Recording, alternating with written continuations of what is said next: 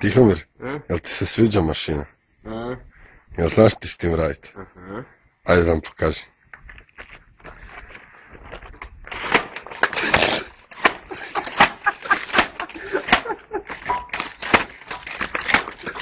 Bravo. Bravo. Dobro, dobro, pregrijat će se, čuješ? I to si sve napravio za sat vremena, kažeš. Da. Bravo.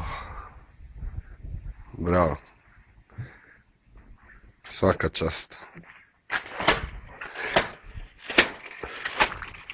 Bravo.